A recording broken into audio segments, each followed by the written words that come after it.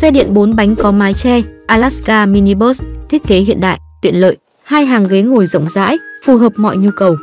Chở khách, đi khu nội khu, gia đình nhỏ vi vu. Kết cấu khung thép chắc chắn đi mọi cung đường. Động cơ 800W, tải trọng 400 kg, bánh xe lốp đặc, leo dốc dễ dàng và an toàn. Điều khiển thông minh dễ dàng sử dụng, đèn led siêu sáng, hệ thống xi nhan.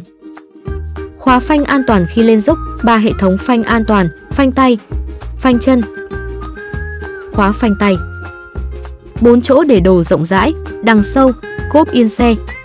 Khay trước chân, đằng trước. Tháng 9 rộn ràng, ưu đãi ngập tràn, Alaska Mini Bus chỉ còn 36 triệu đồng. Liên hệ 19009008 để được tư vấn ngay.